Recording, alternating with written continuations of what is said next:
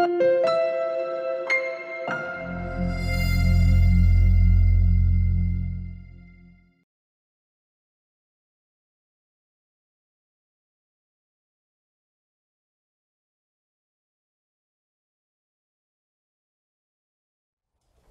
I'm about to share with you is um, it's called contextual learning.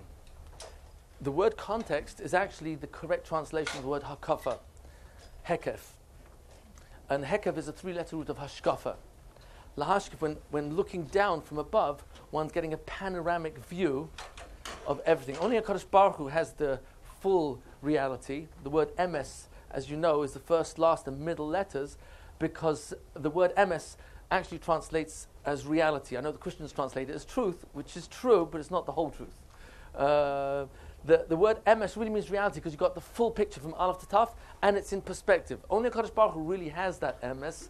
That's why we call him emes. He's reality. But our, our goal is to get as much of that of his hekef, of his context as is possible.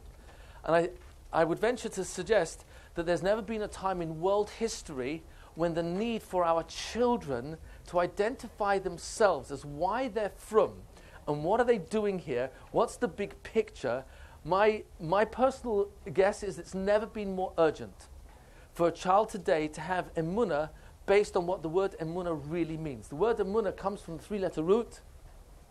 Amen. What does amen mean? I agree that this is true. This is emes. So this is real. In fact, really strictly speaking, when you're answering Amen, you are actually testifying. You are giving testimony in closing, concluding the bracha someone just made. You are testifying that what they just declared is accurate, is true, is real.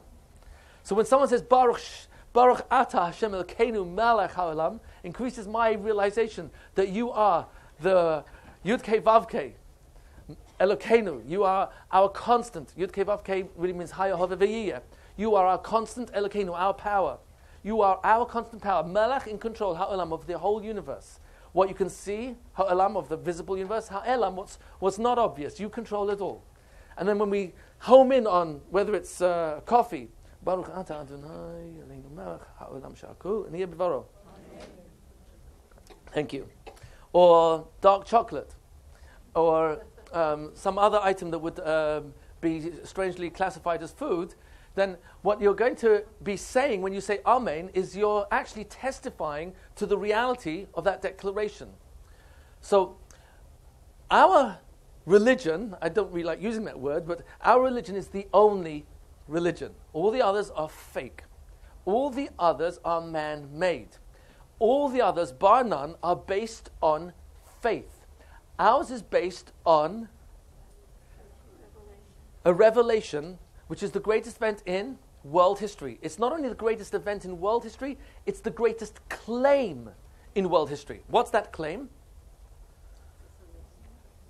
That a, a nation of witnesses, Perek Yud Beis, Parashas Boy, 600,000 men between the ages of 20 and 50, 20 and 60, came out of Mitzrayim, add on all the wives, had at least one wife each. I mean, this is Father, I guess, from Egypt, whatever, but let's say just had one wife each. So that's 1.2 million.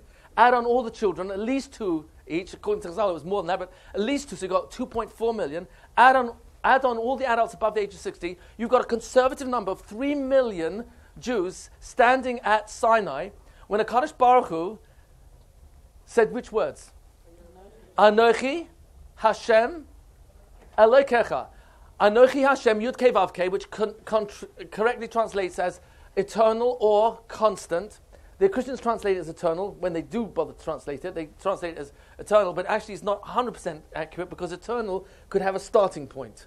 Like the Jewish people are an eternal nation. We didn't always exist, but from the moment we did, we're an eternal nation. Perek Yud Zayin, Pasuk Zayin, and Pasuk Ches, Pashas Lech We're an eternal nation from that point onwards. We didn't exist prior to that. In a Kadosh Baruch Hu's mind, yes, but, but in the physical world. So the word Yud Kei Vav Kei really means constant. Elokeinu does not mean God or Lord. That's not bad translation, it's just not accurate.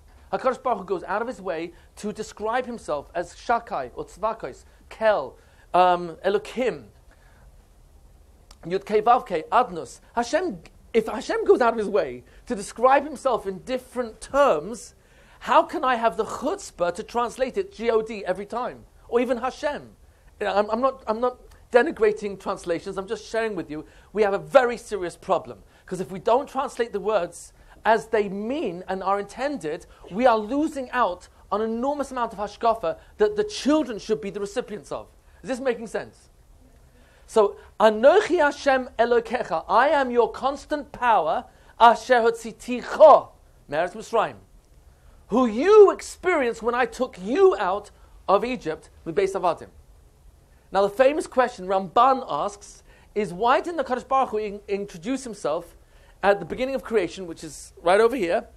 Uh, uh. Why in the Kadosh Baruch Hu, when he's revealed himself at Mamad HaSinai over here, why didn't he say Anochi Hashem Elokecha Shebara Es Olam, who created the universe?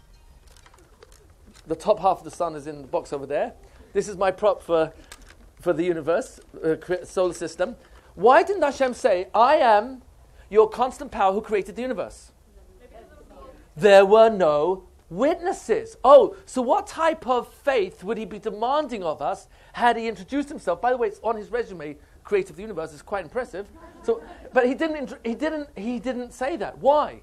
No witnesses. Oh, so what type of emunah would he have been demanding of us? Oh, that's blind faith. But he didn't say that. He said, Meretz Mitzrayim," who you experienced when I took you out from Egypt. Oh, so our emunah, by the way, the mitzvah of emunah is which pasuk in the Torah? Out of Taryag mitzvahs, which pasuk is the makar, the source for the mitzvah of emunah in Hashem? Shema is the, is the mitzvah of echad, that Hashem is one. Anochi Hashem Elokecha, asher siticha meretz Mitzrayim.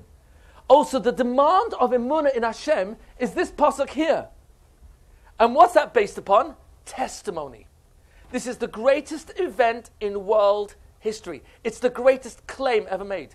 Christianity, how many witnesses were there when Yoshka came out of his grave, supposedly? You know who I'm referring to when I say Yoshka, right? The guy on the cross with the diaper? You know what I mean? Okay. Is that okay? You're allowed to make uh, late Thomas of a sorry, you know that. By the way, do you know when Yoshka was a teenager, they asked him, What do you want to be when you grow up? You know what he said? I don't know. All right, never mind. I see some of you don't like my, uh, my humor. I'll, I'll cut out. Sorry. Sorry, I forgot. Okay, never mind. Uh, there were no witnesses. No, Christianity is based on pure faith. No witnesses. Why couldn't they at least lie? Why did they lie? Just say there were thousands of what the scholars call the original followers of Yoshka, they called them, them Judeo Christians. Judeo Christians mean they were Jews who believed that, that Yoshka was the man. So why didn't, why didn't they just lie? Just say in the New Testament, thousands of us, thousands, standing at the gravesite of Yoshka, and in the middle of the recital of, let's say, Tehillim, which is usually what, what, what we do at gravesites, guess what happens? The earth begins to tremble, the tomb opens up, Yoshka comes out and says, Rabbi I'm back. But somebody will say it didn't happen like that. Okay, so you go home, tell all your friends, and what will your friends and family say, tell to you?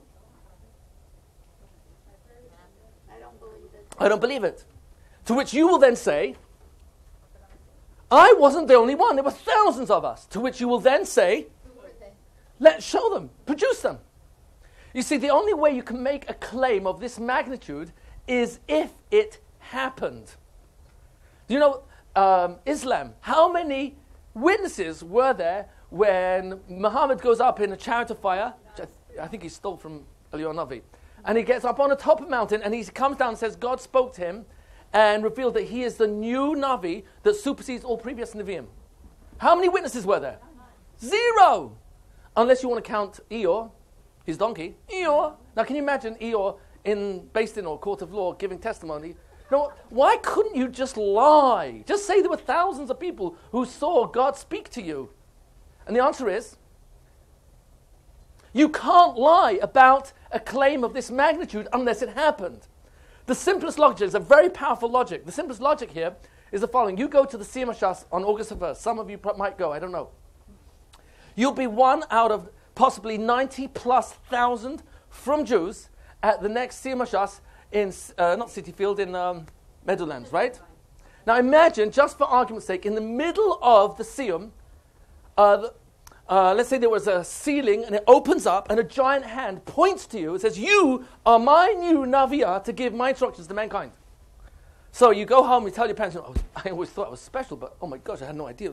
So God spoke to me in front of the whole stadium, and He said, I'm the next Navi, Naviya for the whole of mankind. What will your parents and your friends say to you? You're mad. You're crazy. To which you will then say, There were 89,999 other witnesses who saw this. To which your friends and parents will say, You know, I read Hamodia and uh, get the Yated, and somehow they missed out on this uh, uh, significant detail. Um, you know, NBC, ABC, all the major media and uh, film uh, uh, newscasters were there. Nobody's reporting it, no one's talking about it. Oh, you can only make a claim of this magnitude if it happened. This is the basis of our Amunah. And I want to share with you how we can teach this to our children in first grade upwards. I've actually done this, believe it or not, with preschoolers, but that's only where the teachers got the training and they taught the timeline to the children previously.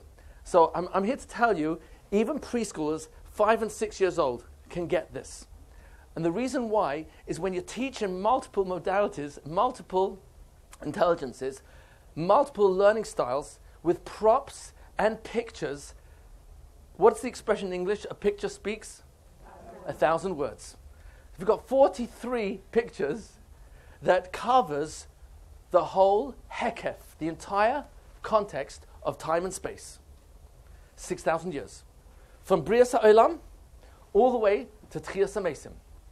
And what, what I'm going to share with you is how we can help children answer the following questions by giving the answers to the questions before the questions rise. And the best time to do this is in the early grades. Don't wait till later on because we have a veritable magefa. We have a real plague on our hands. There are too many kids who are overexposed, too many, all of them are overexposed to the media. Am I, am I exaggerating? Overexposed to multicultures. Am I exaggerating? Overexposed to information. They are overexposed to everything. Is this an exaggeration? No, that's the reality. And even if they're not asking the questions, why am I frum? Why should I be a Jew? Why should I be a frum Jew? Even if they're not, they're hearing it frum others. Am I, am I exaggerating? No. Uh, if it's not them, it's a sibling or a cousin who's at risk, as it's called, or off the derech. And this has to be a question in the mind of any healthy child. Yeah, what am I doing here? Why am I Jewish? Why should I be frum? Why should I stay from? Where do I come from? Am I part of, of, uh, of does, does, does Hashem exist? And if he does, does he have a plan for me? Am I, where am I in his plan? These sound like very philosophical questions. I'm here to say don't ask the questions, give the answers in first and second, third grade. So, what I'm about to share with you is a, a simple history timeline with many props. I've got almost a prop for every single one of these pictures. I'm very sorry I was not able to get in here fast enough to set it up. It took us just to get the change all the tables. Um, so I'm going to have to ask you to, in your imagination, to imagine some of the, what I'm going to be presenting to you. But what I want to share with you is really the following. This has taken on a, a, almost a life of its own. Um, the Board of Ed, uh, New York Board of Ed, actually gave uh, approval to what this is called contextual learning. I have many materials that come to support this so that the teacher can get DVDs and manuals. I've got, um, I'll be bringing the DVDs tomorrow. I didn't bring them today, I'm sorry. Um, and I have uh, manuals as well that holds the hand of the teacher throughout the whole timeline. Because what we're going to do is we're going to travel through time. This is going to be the fastest journey you've ever taken in your entire lives. You're going to travel 6,000 years in about 40 feet, and you're going to do it several times. Even better than six days. Even better than six days. What we're going to discover is when, t- when time actually is recorded. When did time actually be measured as a starting point in time? When do we, when do we, when do we actually measure time? Which, which day of Bria Olam? The sixth day, yeah. We don't, we don't start measuring time before then. Whatever happened before then is it's not really our business. You can speculate, that's not a problem. But uh, we're not interested so much in what happened before because the starting point of the tachlis of the Bria, the the purpose of creation was the sixth day. Why the sixth day? What happened on the sixth day? Oh, Adam and Chava were created. That's right. Adam is created, FFC, from from creation. I thought you'd like that one. And what, what we want to do for the children is using pictures and props. We want to deliver the answers to these questions in a way that's so compelling that the reason why they will know why they're Jews and why they're frum is not because they believe, but because they know.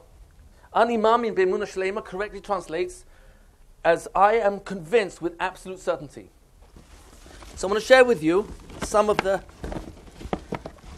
I, I apologize, I'm doing this on the, on the fly with, on your time, I apologize.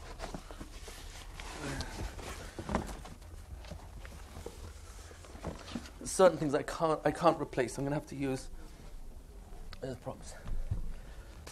Hubble telescope is the most powerful telescope. Today is a satellite. Um, you can get this off Amazon.com, $9.99. What you're looking at here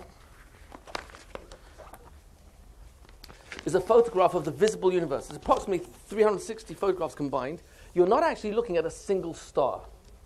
What you're looking at are galaxies.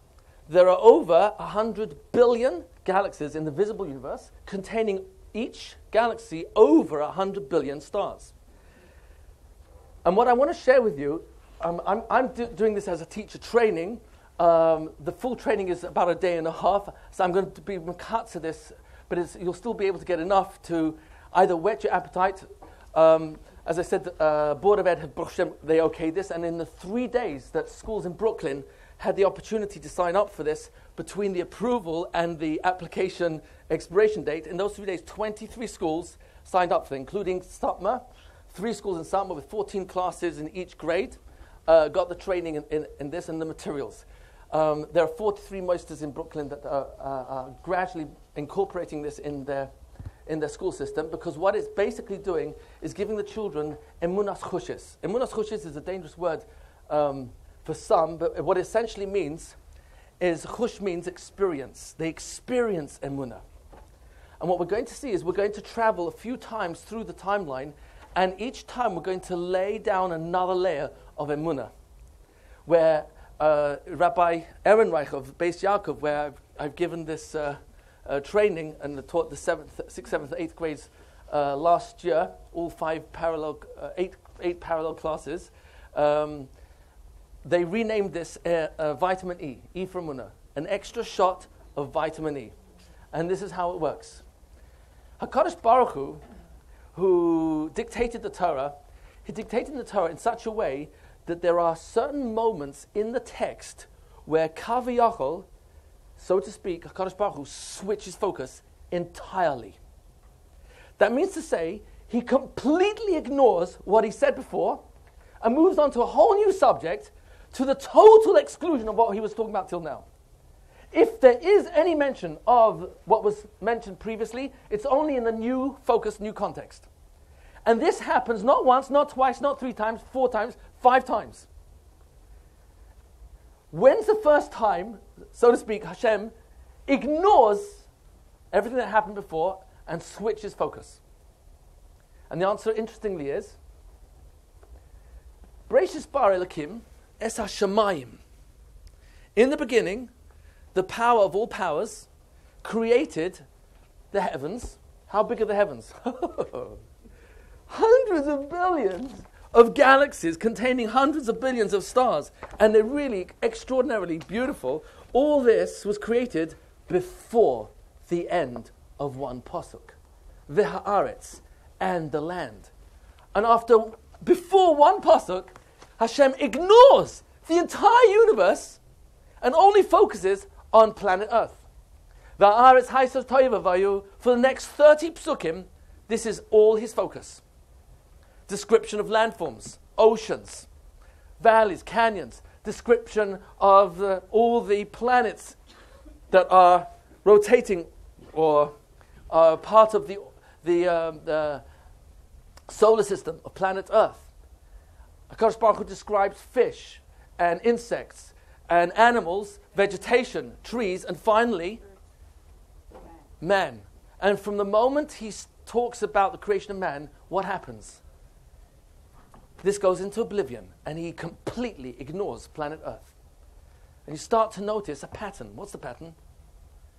HaKadosh Baruch created the entire universe for planet Earth. Why did he create planet Earth? Oh, for man. From this moment onwards, if he mentions stars or moon or sun or oceans, valleys, canyons, it's only in the context of new focus, men. Six prokim later, over here, wipes out mankind. Wipes them out. Only one survivor in his family, the first person in the text to be called Ish Tzaddik. Oh, and you start to see the pattern really unfold. What's the purpose of the creation of mankind? Who's going to be my tzaddik? Noach was a good candidate. Was he the tzaddik Hashem was looking for? No, why not? What, what mistake did he make? Didn't impact others. How, why, how did he not impact others? He did not daven, he did not pray for the salvation of the world. Oh, interesting. So Noach's not the man. Avram Avinu goes through how many nisyonas? Ten nisyonas.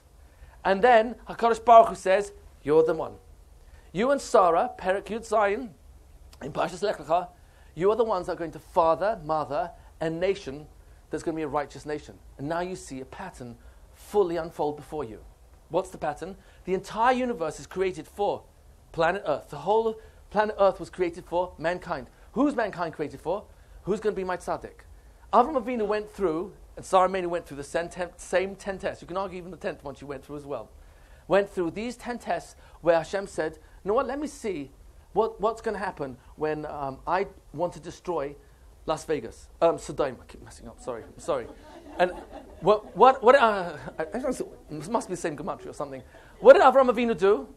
What did Avram Avinu do? Say, Ribono Shel Olam, listen, you're, you're the creator, you're in charge, whatever you, whatever you want. I'm, uh, what do you say? He starts bargaining, negotiating. Oh, what happens at 50 something, 45, 40, do I hear 30, 20 over there, 10? And he starts negotiating down to 10. Oh, you want to save everybody. Tzaddikim, Rishaim, everybody. You don't care who comes to your tent. Ovid Avodah Zarah, not Ovid Avodah Zarah. You want everybody to know me, how kind I am to mankind. So he goes through these 10 tests and he passes. Hashem says, from now on, all your children will have the same DNA. The DNA to ask questions, the DNA to improve the world, the DNA to want the world to have a relationship directly with me. The next turning point actually is Matan Torah. From then on, Taryag mitzvahs comes down to the world and everything changes. From now on, the Jewish nation are accountable to the Taryag mitzvahs. There is a fifth turning point, and I'm going to touch on it much later on. So, uh, what I, I again, this is not the full training, but I'm just giving you a simple uh, sampling. What, what I have in the, in the uh, manual is that for each one of these turning points is a drama- dramatized uh, presentation. It lasts about 15, 20 minutes with props uh, and drama so that the children are being taken along the Chumash so that even though they may be learning psukim inside during the rest of the day, it's not in isolation of the big picture. Because the big picture is that when a child's learning Chumash, Chumash takes the child all the way up to this point over here, entering Eretz Yisrael. 2,488 years. You're almost halfway through 6,000. No, no. You're almost up to 3,000 just with 2,488. Getting, getting there. Chumash takes up a lot of human history. So we want our children to have context. And what I'm sharing with you is how to do that. How to have a child understand this is where I come from. This is who I am. This is why I am. These are the people who came before me and lived and died for me to be here. And where is here? I'm going to go through the timeline with you, but this is where you are. Yes, you. You're right over here. Here's Kibbutz Galias, Mashiach building by Shlishi, and Chiyas HaMesim. You're right over here. You're in the year 5772. Look how far off you are from the Bria Olam. The Gemara in Sanhedrin, Sadiq Zion, tells us this world will exist for 6,000 years, by which time Mashiach's expiration date, he has to come by that time. Interesting. And you, you live right over there, just a few inches off the end of time. Is, it, is this clear so far? We're trying to create context for the children. So we have a story for Bria Olam, there's a story for Bria Adam, and there's a story that's uh, actually broken down into six parts with many, many midrashim that helps the child understand. Avram and Sarah, they are the amudei ha'emunah, the Rishonim describe them. They are the pillars of our emunah. They are the first ones that started seminars where they had conventions and people were invited for free. The only price they had to pay was thank you. And the thank you didn't go to them, it always went to the source. And this was the way they brought people under Tachas Kanfei Ashkina, under HaKadosh Baruch Hu's wing, so to speak. So there's a story for each of these. The most important story is actually this one over here. I'll be acting it out tomorrow with my costumes. I'm sorry, I, I don't have the time to do it right now. But um, what to do right now is, is the full journey, and then I'm going to share with you some other layers. Are you ready? Yes, it's on video. Yeah. Are you ready? Okay. Bria Olam. We start counting from the sixth day because that's when Adam was created.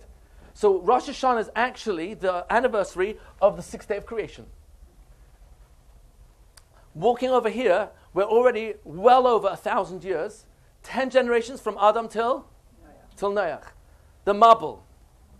Ten generations from Noach till Avram. Migdal Bavel. Migdal Bavel is already the year 1996. Avram Avinu was born in the year 1948 from the Bria. You see this here? This is a cube. It contains golden beads, they're not real gold. One, two, three, four, five, six, seven, eight, nine, ten. There's ten beads along here. One, two, three, four, five, six, seven, eight, nine, ten. Ten down here. How many do I have on this surface? A hundred. Oh, and there's ten layers deep. 100, 200, 3, 4, 5, 6, 7, 8, 900, 1000. How many beads do I actually have in this cube? This represents a thousand years. So uh, in, in a slightly better setup, I will have tables along here. When, when, when the best place for this, by the way, is outside in a beautiful park or if you've got beautiful grounds.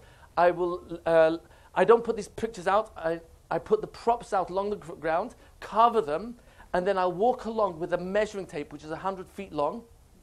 And I slowly go through the history with the children following me. And as I uncover the prop, for here I would have a globe and I pour water on top of the globe. Um, Avram Avinu, I have a, real hammer and a, a plastic Lego uh, Avodah Zarah that he smashes. And we'll, I'll, I'll reveal these along the way so the children see. Oh, Adam, how old was he when he died? 930. So, so this is a thousand years, so I'll place it approximately over here. So children are experiencing the information. Do you follow? Yeah. What I was trying to understand as you were talking was, is this something that you do one time and go through it, or something that you want to do over a year or whatever? This, this, is not a, this is not a whole new curriculum. What this is is a framework. What is a framework? A framework means it's a way to give the child context so that whatever he learns has some, it fits in somewhere. The- This, the first introduction to the timeline takes about eight minutes. I'm doing it with that, with that with you right now. I'll walk in a park area, and this I'm just trying to describe, so I'm b- borrowing your imagination, that I uncover the prop and then I place the picture down. You follow? If you can't do it outside because of the weather, do it in gymnasium or in a, in a, uh, in a, um, in a um, lunchroom, etc. It's way beyond, it's introduction to everything. It's introduction to everything. Uh, uh, you, you're jumping a few steps. I'm just going to tell you up front. This, there are 39 layers. I'm going to cover maybe four with you. What I'm trying to share with you is really the following. One of the things that this has is a very, very powerful, is that when the children get what's called an impressionist lesson of 6,000 years of history, and they experience, here's the beginning of time, here's the end of time, this is where I am. This is what's come before me, and we will, I will indicate, I'm going to demonstrate using props and satellite photos how we know what we know, and how this event is the greatest event in world history, how we've got unbroken Masorah from that event till today, how we've actually got unbroken Masorah, believe it or not, from Adam Rishon. I'm going to share with that. What we're doing here is we take the same pictures and then place them in the classroom of the children. So that what ends up happening is that throughout the entire year, you can reference, oh, where are we in Chumash? Oh, we're in Parshas Beshalach. Okay, well, oh, where's that on the timeline? Oh, here we are. Uh, oh, you're learning uh, Lech Lecha. Where are, where are we on the timeline? Oh, right now you're learning uh, Tisha B'Av. Where are we on the timeline? Oh, the destruction of Bayis Sheni. Right? Or we're in Hanukkah. Where's, where are we on the timeline? You're helping the children constantly reference the big picture so they're getting the heck of it. You're giving them the map of everything in their mind. Do you follow? They're not learning Mishnah in isolation of everything else. They understand what the Hemshech is. You're jumping a few steps here. I, Very visual. it's very visual. I, it's interesting. Over the years, I've had teachers call me months and months after they started using the timeline, realizing how much of what they teach in the classroom they can keep referencing to the timeline. Because it's not a timeline in the conventional sense, it's a way to give emunas. And let, let me give you the presentation because it, uh, a lot of your questions and comments actually will get addressed by that. The Mabul, 10 generations from Noach to Avram, Migdal Bavel. I'll uncover a model of Migdal Bavel. Uh, life of Avram Avinu, smash a Getchka with the Avodah. Can you see it in your mind's eye? I'm so sorry that I didn't have time to pull it all out. And I'm placing these down as I go along. So, Adam Rishon, first thousand years. Noach died in the year 2006. That's approximately over here. So we're up to which year? 2000. That's right. We're already up to 2000. The life of Yitzhak, 10 years of Avram Avinu. Life of Yitzhak. The life of Yaakov. You can see Esav coming to get his bracha, Yaakov getting blessed by Yitzhak. Can you see? The life of Yosef. Yosef reuniting with his brothers. I've got a Hasidic version for all these which don't have any, don't have any images. Uh, Shibud Mitzrayim. And I'll uncover this model pyramid. And it's Chaval, I didn't have time to do this one. This one I get big wows, even from adult audiences. The 10 Makkos, Makkos 10. I'll take a, a, a, a cup of water, see through cup of water, pour it into another cup, which has just two, three drops of red food coloring, and pour it back, and the kids see, oh, it turned red. Oh, Makkos done. Yetziat Mitzrayim, Matan Torah. I'll pull out a beautiful picture or here this painting of Matan Torah. And I'm asking you in your mind's eye to see these either outside along the floor as the children walk along, or if I would have these tables, they, they told me not to use the tables because you need to write whatever. So I'm stuck doing it this way. Um, I would lay these on the table. So as we're going through the timeline, and the children would be facing me, they're getting a single panoramic view that keeps unfolding till they got the full context of beginning, end of time. And they can see the props, it becomes much more alive for them. Is this making sense? So, moving forward, How long does it take you this? initial, I'm giving you a lot of commentary. The initial presentation takes eight minutes, 10 minutes max. The first, the fir- and most of it's in silence. Like the kids are told up front, we're not going to ask any questions. I just want you to watch because you want the chushim, you want their senses to be totally focused only on the pictures and the props because it's going to be much more penetrating than any interruptions the kids will have. Uh, uh, questions, any question they want to ask, uh, you can ask at the end. That's what I would tell them, right? But you want them to get the, the hemshech, the un- uninterrupted flow of 6,000 years in only, only one, one quick swoop. And it's a very, it's, uh, for first graders, it's very, very penetrating. Even if I found adults also, I've had history teachers. One history told me, uh, history teacher told me she's teaching 13 years history. It's the first time in her life she actually saw all of history in one view and realized for the first time that whichever period she's been teaching in history, it's always been in isolation of all other events. And what we're doing here is we're giving context. You're going from macro to micro. Give the big picture first so that the details that the child is given over the next two decades have somewhere to go, has a is, belongs somewhere. It's not in isolation of everything else.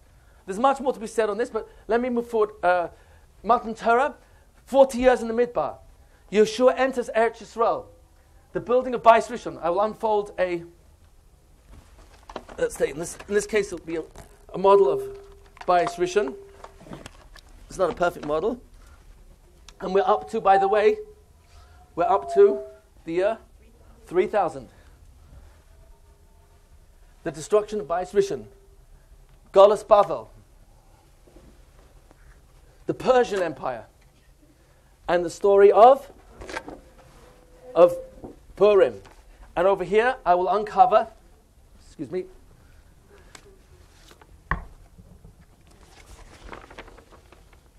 a beautiful Megillah Esther, a real Megillah Esther. And I'll leave it on the table. Can you see it in your mind's eye? Right? I, ho- I hope I'm not um, shortchanging you by not giving you the full view. Building Bais Sheni, Golas Yavan, and the story of Hanukkah. I lift up the menorah. All these props are uncovered, so there's a sense of kiddush, of uh, discovery as we're moving along. Um, the Roman Empire.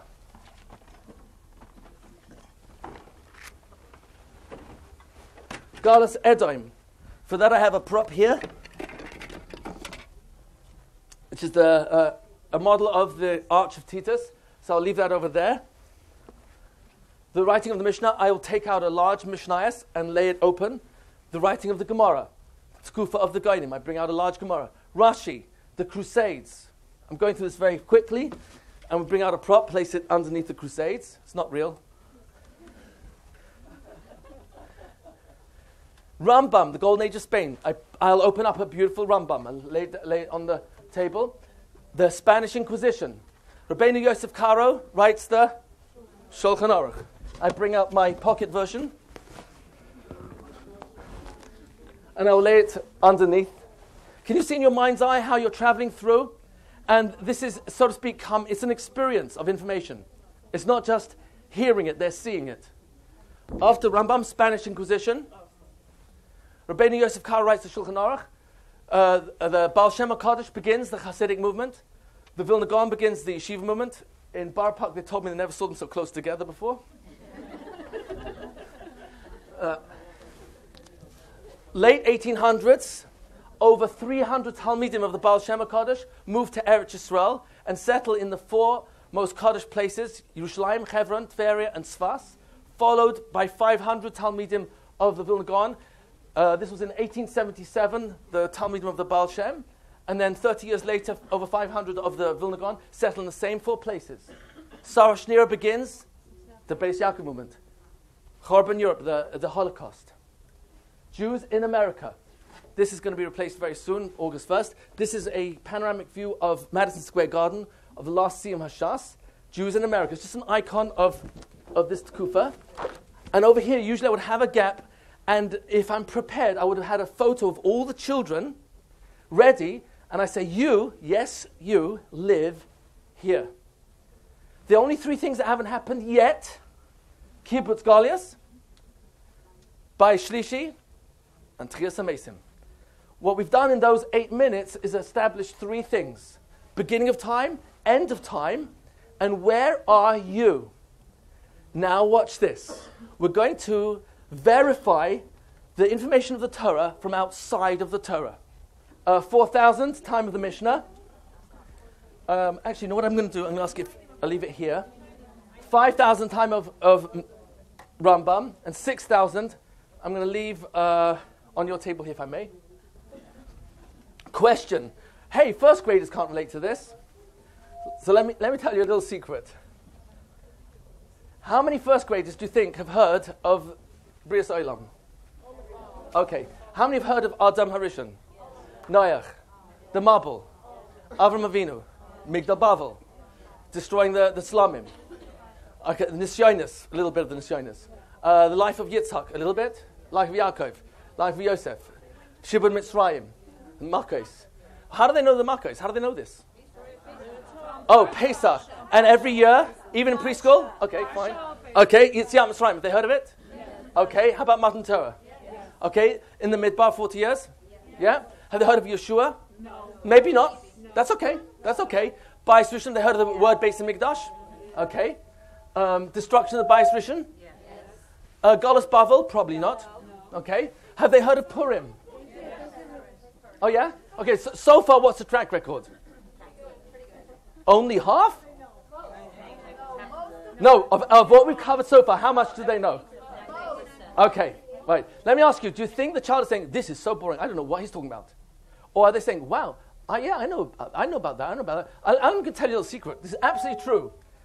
11-year-old, 11-year-old boy comes up to me and says, "Oh, because what, does it- what does this represent? A thousand years. And Noach dies in the year 2006. What does this represent? 2,000 years. 11 year old boy comes up to me and says, I thought that Noach lived one week after Adam. Why do you think that? Oh, it's a week apart. Oh, interesting. So, what, what is this timeline doing for that kid? Expanding his knowledge and, and, and Giving him context. giving him context. So it's, it's starting to make sense of information that he already has, and it's going to create a frame for information he doesn't yet have. But guess what this does? Does this, cre- does this create boredom or curiosity about the next picture? And when you, when you are enjoying something and it's, you're taught something in an endearing way, especially when it's in, in story form with props and dramatized, guess what, what you're really doing to the child? You're planting seeds in their mind for wanting to know more about this subject. Even though they, I can guarantee they've probably never heard of the Tkufa of the Gaonim. Mishnah, a lot of them have, oh, I didn't finish over here. Destruction of Baisheni, Tisha B'Av, have they, some of them heard of it? Is- uh, do, they wear, do they wear leather shoes on, on Tisha B'Av? The children wear leather shoes on Tisha B'Av? No, they don't. Oh, interesting. They see daddy starving in shul. Okay, the Rom- Golas Edom? No. I don't think so. Mishnah.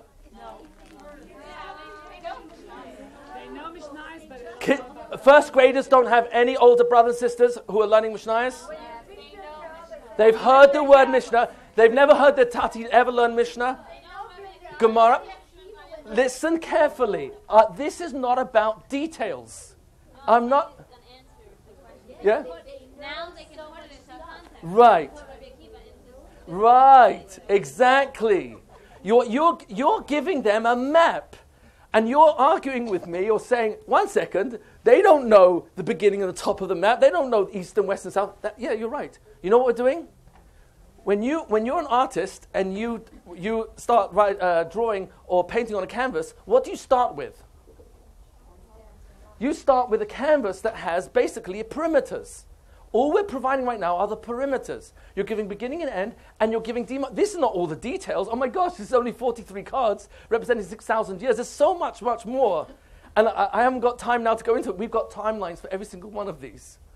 But that's, you want the children to go into incremental detail. Right now, you're giving them identity, helping them understand. They are familiar with the first 2,488 years, and they are familiar with some of these uh, Purim, Hanukkah. I guarantee you, first graders know about that. Do I have to argue that, debate that? I don't think so. Mishnah Gemara. There's plenty of first graders, second, third, who know they've heard of Mishnah and Gemara. But now you're creating context. You're giving it a place. You're giving it a name. Rashi. Do you think first graders never heard of Rashi? They don't know much or anything about him or, or what it is. I, it's a true story. I had a, a kid come home and uh, when asked, What did you learn today? He said, Oh, I learned that Rashi lived in recess. I said, What?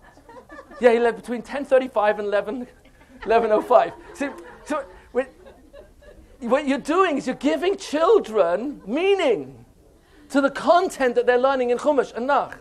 You're giving understanding and meaning to it. How many kids are waking up today saying, What is this all about? I don't understand why I should be frum. They've been learning information that's in total isolation of everything else. Am I exaggerating? We're just giving, connect, we're connecting it all, and it's beyond that. You're giving them munasoshis. Please let me finish uh, the, the second layer and the third layer because you'll, you'll be losing so much uh, uh, out of this opportunity. Have children heard of um, Rambam? Some of them have. Have Shulchan Aruch. They've never heard of Shulchan Aruch? Some have. Okay. Have they heard of Baal Shem HaKadosh? Oh, I think so. Gaon, maybe not. I don't know. okay. Eretz Yisrael. Have they heard of Eretz Yisrael? Yeah. Have they heard of Beis Yaakov? Have they heard of the Holocaust? Um, have they heard of uh, li- Jews living in America? Siyum Shas? Okay. They ever heard anything about Mashiach? In some homes, yeah? Okay. Okay. So let me ask you. I know, I know.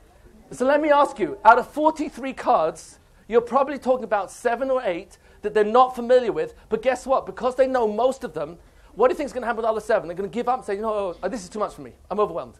Or are they going to be curious to want to know more about every single one of these? Okay, please let me finish now. I'm actually speaking to myself because I'm not going to take any more questions or comments right now. It's a little bit later. Let me uh, cover some, uh, some major ground. Question The Chumash gives us lots of information. And you know what? It's not, it's, it's not forced to give information. And we know that if it does, it must be significant. Perek Beis. That's right at the beginning of the Torah. You know, when I say right at the beginning, it really is. I'll tell you why. The first 31 psukim describes Bria Sa'ilam, um, creation of the universe, and creation of planet Earth. Perek Beis already mentions four rivers. Here's a satellite photo, Perek Beis. So I'm going to hold it up over here. Here's a satellite photo. Pishon, Rashi tells us, is the River Nile. See the river, Nile here? Here's the Nile Delta. How long is the River Nile? Does anyone know? Goes into South Africa. It's 4,168 miles long. Nearly 4,200 miles. Whoa! You have a river, Perek Beis, screaming out, Amen. I agree, your Torah is true. I'm still here. Oh, how about Hidekel? Hidekel is the Tigris River. Do you know how I know? My mother, Shalom, she was born on the Tigris River. She was born in Baghdad. I was told she should be born in Baghdad. She was born in Baghdad. on the Tigris River, opposite the Tigris River, is Hidekel. Sorry, that's Hidekel. And Frat. What's Frat? Euphrates. Euphrates. Oh, three of the four are clearly identifiable, are still there screaming out, Amen, I agree, your Torah is true. Do you know what else? This gets even more interesting.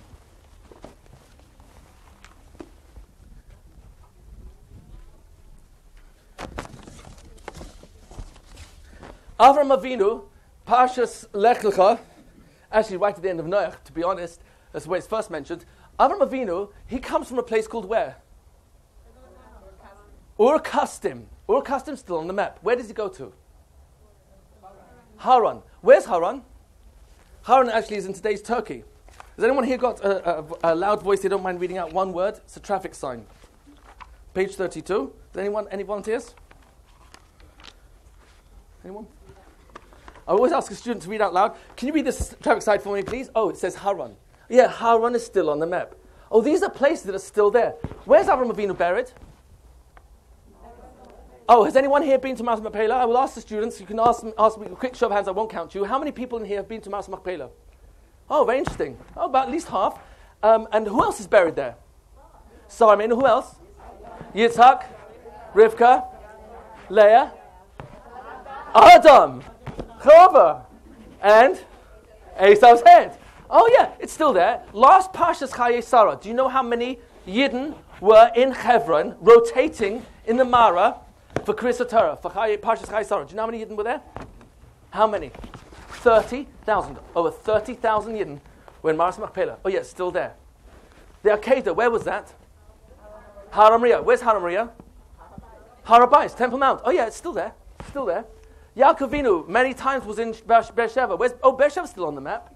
Yeah, Yosef, where's he buried? Shechem. Anyone here been to Shechem?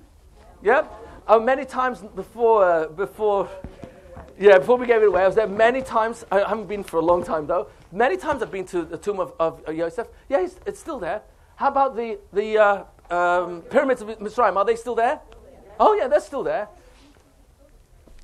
No, I, am not. I, that's, I'm, that's not the point I'm bringing out at all. That's not the point I'm bringing out at all. I'm bringing out ancient history. We're not, I haven't even touched archaeology. I'm not going to do that. I just don't have the time. But on topography alone, that means physical places located on the surface of planet Earth that are there from thousands of years ago that are mentioned in the Torah are still there screaming out, oh, yeah, that's exactly as your Torah describes. We're still here to say so. Is this making sense? Uh, the Makkos. What do you know about the Makkos? It's Chaval. I, don't, I, I, I, wasn't set up for this. I really apologize to you. In the Makkos, there are papyrus. In England, we call them papyrus. The papyrus that are written, you know, papyrus is written on, on the reeds from the Yamsuf. So this is what ancient uh, Egypt used to write on. There's a papyrus, that, papyrus, sorry, that were discovered in 1828. But hieroglyphics wasn't a language that we were able to translate till we discovered the Rosetta Stone. So this was not actually translated. The papyrus, known as the Papyrus of Ipuwer, were not translated until 1909. When they translated, what it essentially gave was an account of the destruction of the entire Egyptian empire, describing 10 catastrophes. First one, that is our water, that is our life. It's all turned to blood. Interesting. That's Rambam. Uh, he's got staying power, don't worry.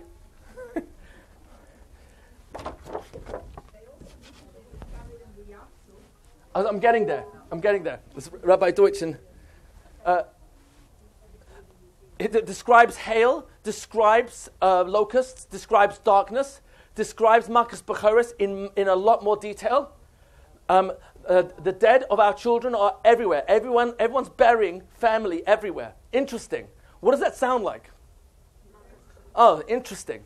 He, I'm not bringing this as proof and evidence. I'm sh- our emunah is not based on this. Our emunah is really based on this event over here because we've got testimony and we've got unbroken testimony. We'll demonstrate soon. But until then, what I want to bring out is that there are physical places on planet Earth which we have the technology, archaeology, topography, observation to be, our satellite photos to be able to show, hey, these places are still there. I didn't cover everything at all. Mount Ararat, I didn't touch upon, it's still there. Uh, I, didn't, I didn't go into all the explo- uh, explorers that have been to Mount Ararat and have found the Teva in two different places. It was split. We didn't talk about Sdom and Amora. These are places that are still there. You, there's still evidence of literally te- hundreds, not tens, hundreds of thousands of lead bowl, balls made of sulfur. Sorry, not lead, out of sulfur. You- You're talking about an enormous amount of evidence. You start talking about 40 years in the Midbar. Oh my gosh, this gets even more interesting. Some of you are familiar with Rabbi Deutsch. His Lubavitcher lives in, in uh, Borough Park, and he has the Living Torah Museum. You're familiar with that? So he shows, has a fantastic commentary, uh, documentary,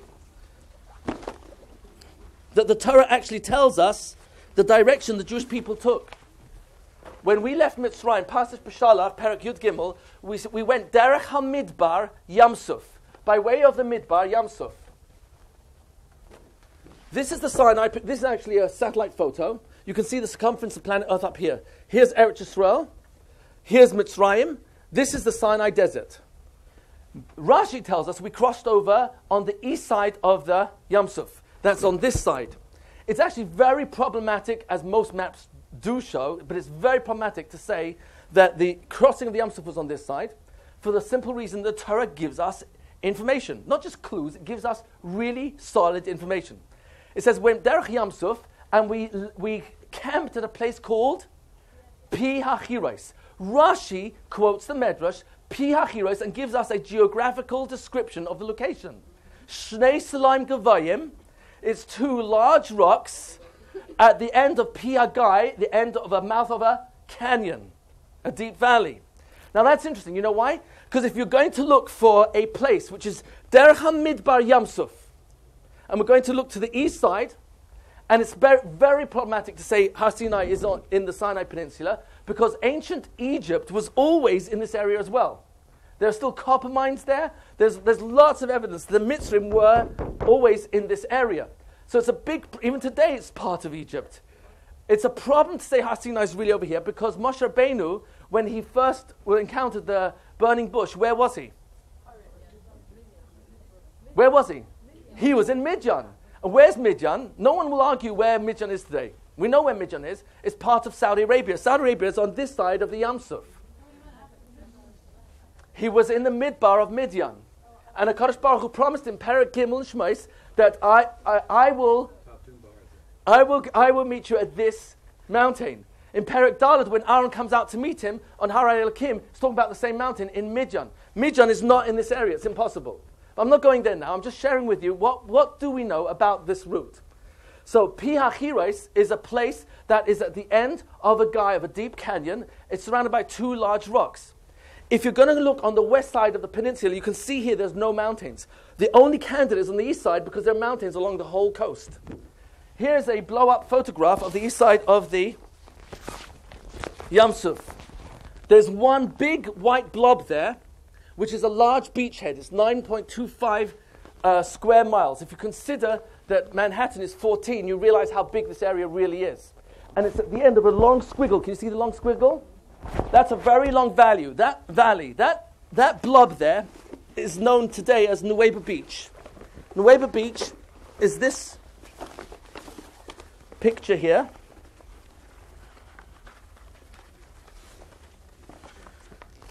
Can you see the, the valley? See the beach at the end, the sand at the end? Okay, so you can see this a little bit closer on this one, it's a blow up. You'll see Nuweiba Beach, and you'll see the arrow that points over here is pointing to the very high cliffs that is the entrance to this beach. This beach is closed on both sides by these mountains. If you're trapped on this beach, you only have the Yam in front of you. If your enemy's behind you, you have nowhere to go. You are completely trapped. What does Parai say about the Jews at Pi HaChiros? Sagar Alehem Hamidbar. How interesting. You put the pieces together, it starts to make a lot of sense. This is a candidate location for the crossing of the Yam Suf. But it doesn't stop there. Good question. I don't know where the Baal Safon was, but the Torah tells us we were parked opposite Migdal. And until today, there's still uh, the ruins of a of a, uh, Egyptian fortress right parked um, on the beach itself. So it's still very, very compelling. But I'm, again, I'm not offering you this as the reason why we, our children should believe in the Torah. I'm just sharing with you where both topography and in some cases archaeology is just coming up with more and more substantiating evidence that the Torah's description is 100% accurate. Now, watch this. Ron Wyatt, an archaeologist, found on Nuweiba Beach the following pillar. This pillar was matched by the same type of pillar on the other side. That's the Saudi Arabian side, which was, was Midian. And there was inscription on this one which was not as clear as the one on the Saudi Arabian side. On the Saudi Arabian side, the inscription was that this was erected by Shlomo Melech, so Jews would know where to make the bracha. You should not be too surprised by that. I'll tell you why. Because the Mishnah over here, Brachas, Perek Tes Mishnah Aleph says, Kol makon, whoever sees a place, Nasa boy nisim lavasenu, where miracles were done for our forefathers, makes the bracha She'asa nisim lavasenu b'makom. The Gemara on the Mishnah gives four examples. First example is the crossing of the Yam Suf. That means at the time of the Mishnah and the Gemara, they still, 1700 years ago for the Gemara, 2000 for the Mishnah, they still knew the location of the crossing of the Yam Suf. What do you think Ron Wyatt did next? If this is really the location, what do you think he did next? You're a detective. What would you do next? Yeah, you're going to start looking for. He sent a team of scuba divers into the Yam Suf at that crossing. And when they came up, six divers came up and said, We have found a veritable graveyard of uh, coral that surrounds the shapes of chariots, chariot wheels, spokes, and axles. This is actually a- an actual photo of one of the wheels that's found there. This is the best, the best. Uh, It's only the gold layer. this is no, the inside is destroyed. The gold on the outside is still there. That's right. Rabbi Deutsch of the Living Torah Museum is negotiating with uh, the Egyptian uh, Ministry of Archaeology to, to, to exchange this wheel for an artifact which he has that they want very badly. It's uh, the only artifact in the world that has the full name of Ramses II on it. But uh, I'm not offering this as the evidence for why our Emunah is true. I'm offering the following. Let the children realize this is Toras Chaim. This Torah is still alive. These places are still there. And we're still way in ancient history. We haven't even touched upon Yehoshua. You won't find an archaeologist alive today who will not tell you that the name places, there are literally dozens and dozens of places mentioned in Sefer Yehoshua. Battles, uh, name places, valleys. Yericho, still there. Conquered nine times. You can still go there. You know what's so, so bizarre? It's, listen to the irony of this. We Jews are still over here, right? We're still here. And Mitzrayim had to go at us. The Babylonians, the Persians, the Greeks, the Romans, the Crusades, the Inquisition, the Cossacks, the Tsar, the, the Nazis, communism, they've all had a go at us. I remember going to Yericho. You know what you'll see there? An Israeli tourist guide who'll be giving a tour of Yericho, ancient Yericho, to a contingency, a group of Americans, Swedes, Norwegians, know English. And you know what he's saying? Here are buried the Byzantines, here are buried the Persians, here buried the Babylonians, here buried the Greeks, here buried the Romans. One second. Who's still here giving the tour? Oh, all these nations tried to wipe us off the map. We're giving the tour of their ancestors who tried to wipe us off. We're, we're here. How many of you went to school with a Greek, Roman, Amorite, Hittite, Persian? They're all gone. Isn't that incredible? Help the children see that these are places that are still there. You bring out the Bar- Babel. You do this with first graders. I don't have, I don't have the right map for this. But uh, if I took out, as you know, where's Bavel today? Iraq. Iraq's in this area here, and 43 miles southwest of Baghdad is, are the ruins of Nebuchadnezzar's palace. It's still there. In fact, Saddam Hussein, that was his real name, he just thought it was a bit crazy, so he changed it to Hussein. But Saddam Hussein, what he did was he, he, he reconstructed his own, his own te- uh, not temple, uh, palace on top of part of, of Nebuchadnezzar's palace. He considered himself a Yes, yes, he actually wrote it on the bricks there. Correct. These are places that are still there. The ancient world is screaming out, Amen. Your Torah and Nach are true. Ladies and gentlemen, Persian Empire. Here's a phenomenal book. It's the Purim story from an archaeological, geographical, and historical perspective. In here, I'm going to show you the, the excavation site of none other than the palace of Achashverosh. Yeah, it's still there. It's called uh, uh, Purim and the Persian Empire Archaeological, Historical, and Geographical Perspective. It's, um, it's published by Feldheim, Yechiu, Esther. Yes, Esther. Oh, here, here's the recon- these are stone for stone reconstructed arch of the entrance to Babylonia, the city, the city of Nebuchadnezzar, that has been reconstructed in the, the Berlin Museum. You can go to it today. I'm not suggesting you do, but it's still there. And let me share with, show with you. Here's the aerial picture of the excavation site of the um, foundations of the palace of Achashverosh. It's still there. Now, ladies, if you look at Perek Aleph Posuk Hey, uh, there's it Zion, in the Megillah, there's a description of the party that took place there. What does it describe? What, what, did, we, what did we drink from? Oh, he, uh, Ahasuerus came out with Kalim from the Beis Mikdash wearing the big dekuna. Kohen he had the audacity. But uh, what, what type of Kalim did people drink from? Gold Kalim that were different. And what does Chazal tell us is the meaning of Shoinim? Every single cup was different. No two were the same. If you drank from a cup once, you never drank from it again. Right? The hashkais bechlei zahav, the kelim mekelim shoinim. Yeah? Ladies, have you ever, in your lives, in the past 2,400 years of aesthetics, ever seen a cup of this design? Is this not extraordinary? I'm not saying you have to love it, but is, is this amazing? Yeah. These are, these up here as well. You find this in the British Museum. You want to take a, a British Airways? Can you see it here? Help the children see that there are physical places on planet Earth that are screaming out, yeah, your this is true, of course. Titus, the famous Rav Kahana, Kahaneman, sorry, of uh, Ponevezh, he had a stopover in Italy and he took the taxi from Rome to stand underneath this arch. And he famously waved his hand up at Titus, said, Titus, Titus, you know what? Where are you? Long gone and forgotten.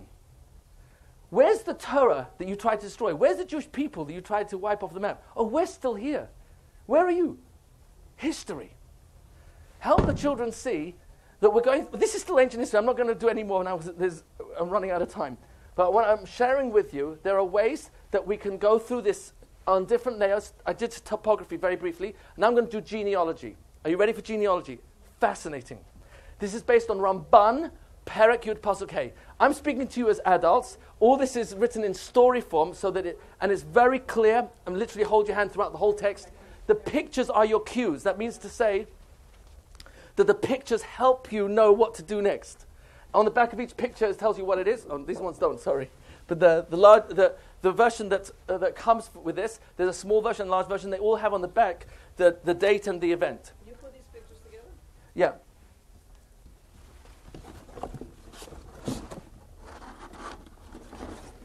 So this, this, I'm sorry. This is the set here. So on the back of each one, let's say 10 generations from Adam till Noach, it's got 0, 0, 0 till 1056, etc. Is that clear? Are those for sale? Yeah. Yeah. Sure. You get them on website. I have a few here that I brought, but uh, I'll be honest with you. I usually don't sell them only if the teacher's got training. So if you if you um, uh, buy the DVD, at least if you're not able to attain, uh, uh, attend a full training, then I only sell it for people who will buy the DVD as well because I I, uh, I don't want to. I don't want them to be just history timeline cards. It's really not history. It's his story. It's hashgacha pratis. It's Hashem's constant hashgacha, which we're going to see in the. I'm going to I'm going to do one layer with you, Be'ezrat Hashem, before the end. I'm color a, a, a layer which is it, it almost takes away bechira. And when children see this, they literally experience Hakadosh Baruch Hu in their lives. And you'll see it in a few minutes. Um, right now, I want to share with you. This is Ramban Perek Yud Pasuk. Sorry, I'll be. I'll bring it tomorrow. I don't have it with me today. Uh, I'm going home tonight. I'll bring it tomorrow. Yeah, it's five hours. It's a kitzur of the one and a half days, but uh, but it, will give you a lot of the information. How much is it? Uh, the fifteen dollars, one five. Adam Rishon, created over here. He dies the year what year? How old was that? Uh, Adam Rishon. 930. We'll take a vote. Okay, fine. This is 930. Just a little shy of a thousand. Is that right? Let me, let me leave this here for a moment. Ten generations from Adam till Noach. Adam, Shes, Enosh, Canaan, Mahalalel, Yarad, Chanoich, Mesushelach, Lemech, Noach. Who was the father of Noach? Lamech. Lamech was born in the year 874. Oh, that's interesting. Adam dies in 930.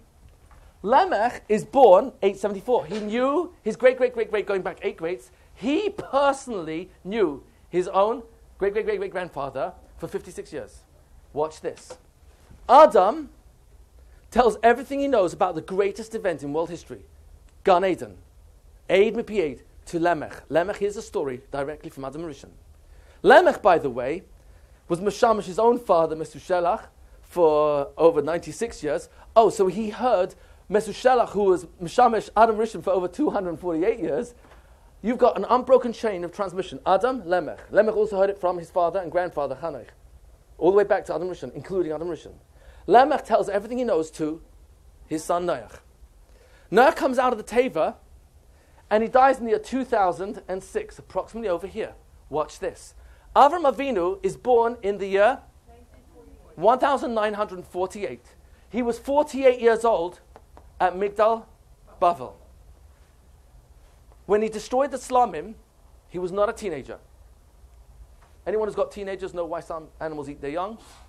But Avram Avinu, never mind, he, he was 60 years old when he destroyed the Slamim. 60 years old. Pirkei Rabbi Eliezer, Perikafav, Sefer Yasha.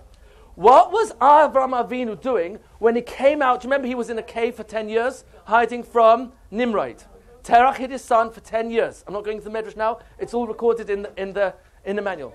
How old was Avram when he finished Idol? 60, 6 0. Say he was six, he was, no, three, forty. Yeah, different. Dif- different ages that he was Makir Kodesh Baruch Hu. I'm not talking about that. I'm talking about at the age of 60 is when he destroyed the Slamim. The question then is when he was in the cave for the first 10 years of his life and he left the cave, why did this take so long to happen? And the answer is he did not go home when he left the cave. He went to live with Noach. You'll find the Sefer Yasha. Watch. He was 10 years old. 0 to 10, correct. He lived with Noach for 39 days, weeks, months, years. Sefer Yasha. Watch this. Adam, Lemech, Noach, Avram Avinu. Separating Avram Avinu from Adam Rishon, only two generations. Avram Avinu teaches everything he knows to his son Yitzhak, to his grandson Yaakov. Yaakov is how old when Avram Avinu died? 15 years old.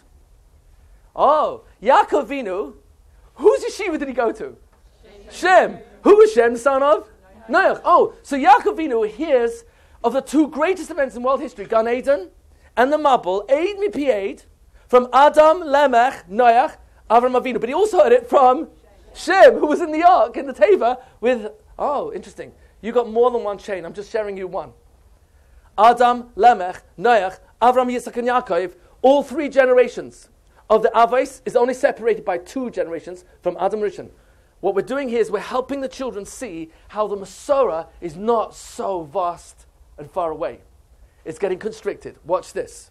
Yaakov Avinu goes down to Mitzrayim, reunites with Yosef, and he teaches everything. We're in the same Ramban, Perek Yud Teaches everything he knows to all his sons, especially Levi, his grandson, Levi's son Kahas, and his great grandson, Amram, Avi, Moshe. Yeah, Amram knew his great grandfather, Yaakov Avinu. Watch this. Adam, Lemech, Noach, Avram, Yitzhak, and Yaakov, Amram, Avi, Moshe.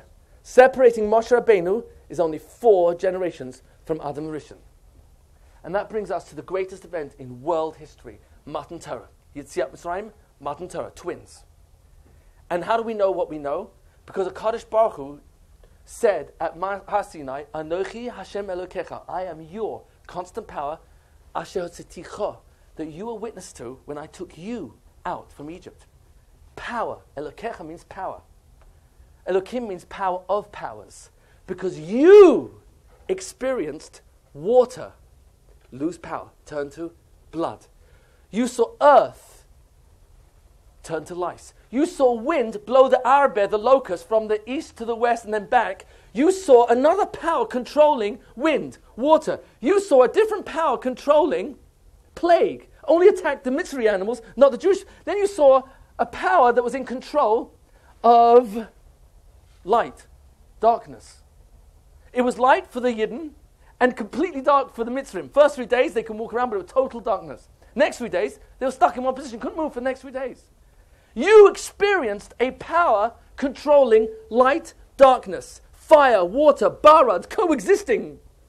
Fire and water, ice. Surely the water will put out the fire, the fire should put out the water. One should be stronger. No, you saw a power controlling them both, so they coexisted.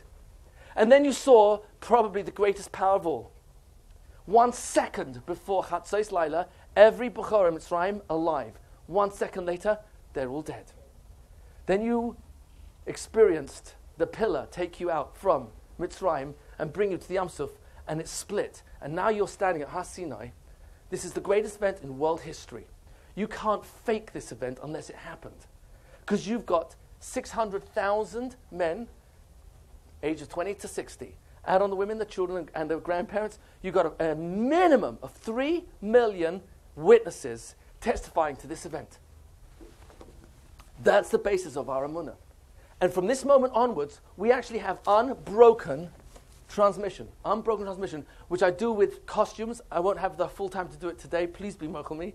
But um, we do this with costumes, and we'll literally go through from Matan Torah till where we are and demonstrate to children.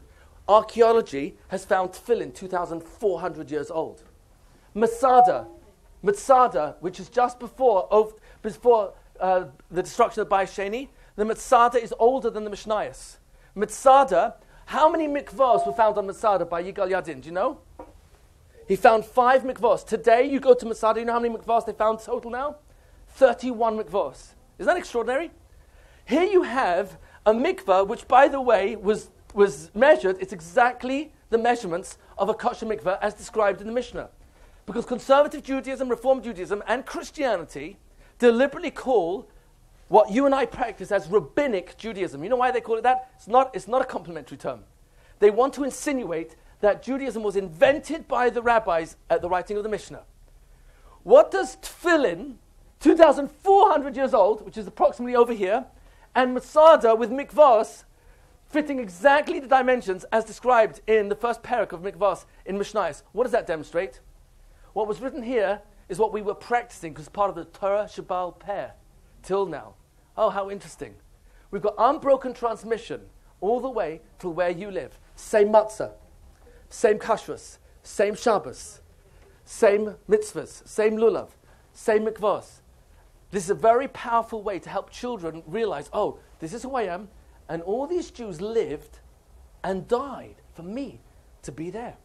What type of Jew did they live and die for me to be? So I, I didn't have a chance to go through the, the, the Masorah uh, fully. I just gave you like Rosh Tevas. I'm going to close now on Nevuah. Nevuah is, is so powerful. Why is Nevuah powerful? Nevuah means prophecy. What's the obvious risk in prophecy? What's the, what's the obvious risk? If it doesn't happen, what will you say about the Navi? Navi Sheker. And if he's saying in the name of the Torah, what will you say? Hashem say it's not true. And if you're saying this was divinely written and the promises of what will happen in the future don't come about, what will you say? See, everything is at risk. Everything. Do you know that Christianity dared, dared make a prophecy? Do you know how many times they did it? Twice. I'm, I'm not saying you have to teach this to first graders, but uh, older kids, yes, it's really important. Because when you realize prophecy is not a joke, it's very serious. Your whole religion is at risk. Everything's at stake. Everything. Because for prophecy to be real, it has to fulfill criteria. Number one, and I think you'll agree, prophecy has to demonstrate knowledge of the future. Do you agree that's important? That's condition number one, has to be fulfilled for you to know this is real. This is real Nevuah. Number one, knowledge of the future. Number two, control of the future. Does that make sense? Control of nature. Why do you want all these controls? Because if prophecy is real and it's coming from a power who controls all powers, Hashem who revealed himself once, and we're going to see soon one of the most powerful prophecies that he ever gave was it will never happen again. There will never be another national revelation. We're going to see that in a few moments in detail. Christianity dared, dared make a prophecy. They thought it was low in risk. You want prophecy to be high in risk. You know why you want it to be high in risk? You want it to be so unlikely to happen, so irrational, that if it does happen, what conclusion are you forced to make? There has to be a power that controls time, nature, controls the destiny of entire civilizations and nations, empires. There are seven criteria total. It's got to be irrational, low, high in risk. You want it to be con- demonstrating control of time, control of, of, uh, of um, nations, history rather. And lastly, and it sounds a little bit strange, but you want Nevuah to be given before the event. Do you agree that's. Okay. Uh, it may sound a little bit obvious, but it's not, and I'll tell you why. The first prophecy Christianity dared make was right over here. They, in, and you'll find this, you don't have to look, but in the book of Matthew, the last, never mind where it is. It says that Yashka said, you, by the way, he never really actually said this, but it said in the name of Yashka that the Jewish people are going to go into exile and our temple will be destroyed. Can anyone explain what's the problem with their prophecy? The book of Matthew was written in the year 84, approximately over here. And the temple was destroyed in which year? 68 through 71 and 70, three year siege. So, can you hear the slight problem with their prophecy? Okay, so, so one of the conditions in prophecy is that it has to be given before the event. You agree that's technically significant? Okay, good. So that was the first big mess up, right? Here's it's ridiculous. The second attempt was much worse. They, they messed up big time. They thought they were on secure grounds. St. Augustine, fathers of the church, St. Christian, Christendom, in the third century, approximately over here, made the following declaration in the name of Yashka, which you won't find anywhere in the New Testament, and that is the following The Jewish people must remain in exile. Here we're exiled to Roman Goths at time. 325 at uh, the meeting of Nicaea was when Christianity became the official religion of the Roman Empire under, Christian, um, under uh, Constantine. Thank you. What, what's the claim? The Jewish people must, this is their nevuah, the Jewish people must remain in exile forever. How long is forever? forever. Never to return to their land. How long is never? Never. In order to bear testimony to the truth that God has rejected the Jewish people because we rejected his son. Listen carefully to their logic. I'm not, I'm not teaching you New Testament, I just want you to understand how, how dangerous their nevuah was. Listen very carefully. You and I must remain in exile forever, never to return to the land, in order to be Adus. That Hashem rejected us, we're in exile, never to return to land, and the prior that we have been completely, totally rejected by Hashem because we rejected his, his son, is because we will never return to the land. What happened in 1948? I'm not making a political statement, I'm just sharing with you what happened. The United Nations took a vote, and what did they claim?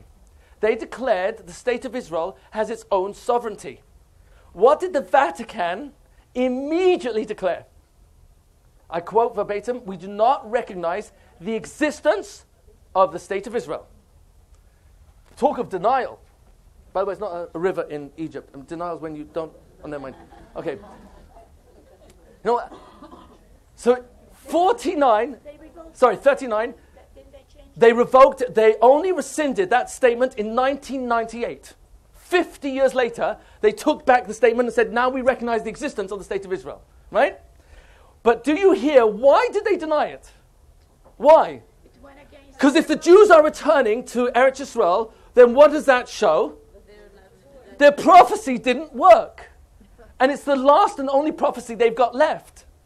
Do you understand what a mess we've made of Christianity? By coming back. In 1949, over 700,000 Jews, that's on the way to 1 million, were living in Eretz Israel.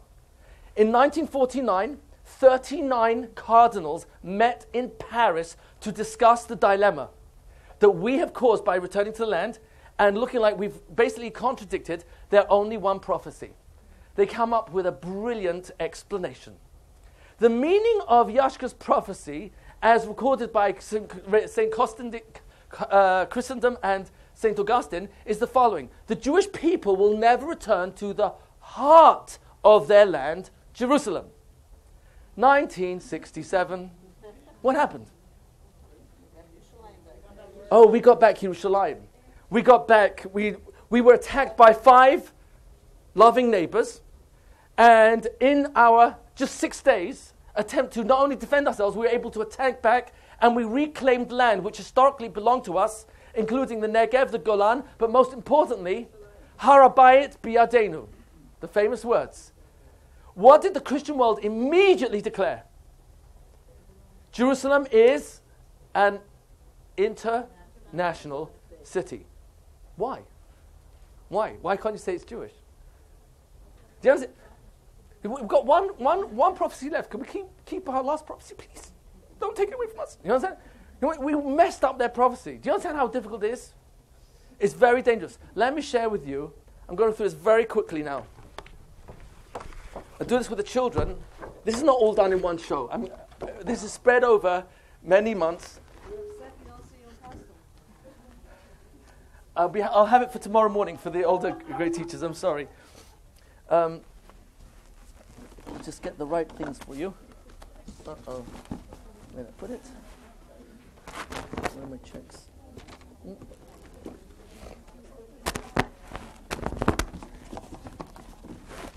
Oh, here. Okay. Nevuah. Can you you appreciate how I'm, I created, the- I, I gave you these two examples of Christians' attempts to Nevuah to show you how dangerous it is. You can destroy everything. Is that everything's at stake. We have hundreds of Nevuahs throughout Tanakh. I'm going to share with you just 21 major Nevuahs in Chumash alone. And what you're going to see as the student, the child, will go through 21 very quickly. And we're going to put down when it was given. And if it was Makuyim, we're going to put down a check. You follow? So that the child will experience oh, this is when it was given, this is when it was Makuyim. And at the end, we're going to count the checks. Simple enough? Okay. Bris Bein HaBesarim. Perek Tesvav Pasuk Hey. Habet Shemaima. Avram Avinu, please look up at the stars. Im Toichel, if you're able to count the stars, Koyi Zarecha, that's how many children you will have. Now the problem is that in Pasuk Yud Beis, seven Pasukim later, Vayavoy Hashemesh, the sun went down. Oh, if the sun just went down, you were being asked to count the stars during the night or the day. If the, if the sun just goes down now, let, and you were asked just previously to count the stars, when were you being asked to count the stars? Daytime. How many, how many stars can you count in a day? So what was the nevuah? Oh, you're only going to have one child, like you can, because you can see the sun. Very good. Zarecha is interesting. Rabbeinu Bachya says it's a lashon of echus, not kamus. A lashon of quality, not quantity. The Baal Shem says this as well. Very interesting. He says when, when, when Avraham Avinu is being asked to look at the stars, you can't see them. Does that mean they're not there? Of course not. They're still there. Does that mean they're not shining? No, they're still shining. Your children will be quality. You will produce many children that will shine this world. Have we produced millions, literally millions of tzaddikim, tzidkanios over the last 4,000 years? I'm, gi- I'm, giving you much more definitive ones in a few moments. Perek Yud Beis, Pasuk Beis and Gimel in Parshas Lech Lecha. We're still really in this area over here. HaKadosh Baruch Hu says to Avram Avinu, I will bless anyone who blesses you. Umikalelcha aor, anyone who curses you, I will curse. V'nivrechu and blessed through you will be kol adama, all the nations of the world, all the families of the world. That's very dangerous. Listen carefully to the pattern. Anyone who starts up with you, don't worry, because I will take care of them. If Hashem's going to curse a nation, what do you think will be left of the nation after that curse? Do you think they'll ever recover? Watch the pattern. I will bless anyone who blesses you. Did we enrich Mitzrayim? Who made Parai the wealthiest man in world history? Yosef. Why is it that four fifths of the Jews died in Makas Choshech? Parshas Beshalach, Medrash Rabbah, Tanchuma both say, Gedolim Hayu, the four-fifths that perished were great people. They were dignitaries. Ashirim, they were very wealthy. They held high positions throughout the Egyptian empire. They didn't want to leave. Oh, interesting. Yes, we enriched Mitzrayim. Umikalel cha'er. But the moment they turn against you, guess what? I will curse them. Where's Egypt today? Did Egypt ever recover fully as an empire again? Check it off.